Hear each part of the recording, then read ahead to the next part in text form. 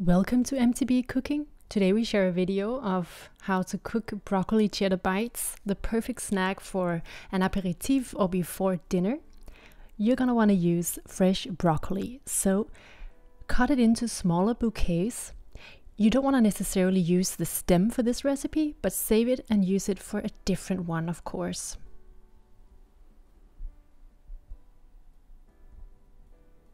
In plenty of salted boiling water, you're gonna wanna cook your broccoli for three minutes. It's not a long time, but you do want them to still have some texture, uh, and that's why. After the three minutes, it's important to cool down the broccoli bouquets to really uh, ensure that they won't continue cooking. And then you can just cut them into smaller pieces.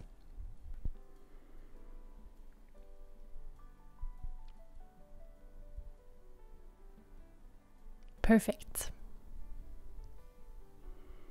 The next step is to grate some cheddar cheese. You can use any type of cheddar cheese you want. Of course, the sharper and more tasteful it is, the, the more it will it will be prominent in the finished result. In a large mixing bowl, add the broccoli, add finely chopped spring onion, and add the grated cheddar cheese along with a few beaten eggs. Give this all a good mix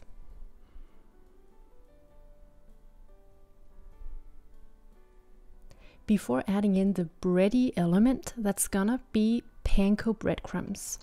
Panko breadcrumbs are a bit more rough in the texture than normal breadcrumbs, and that's actually really a great result. It's gonna give a more airy and light result uh, if you compare with those normal breadcrumbs that are more compact.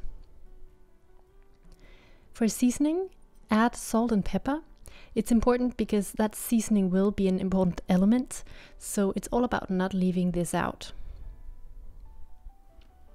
Give it all a good mix once again before forming these bite-sized oval spoonfuls of the mixture using your hand and the spoon as good as you can and placing them on the tray with parchment paper.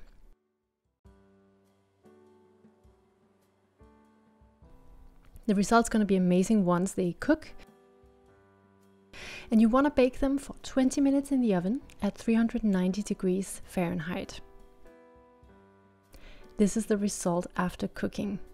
Golden brown, crispy little mouthfuls of uh, melted cheese, cooked broccoli, and also the egg, which has helped to make them stick together we found that it's really nice to serve them with a bit of this uh, chili sauce called sriracha. So if you want to do that, we can only recommend it.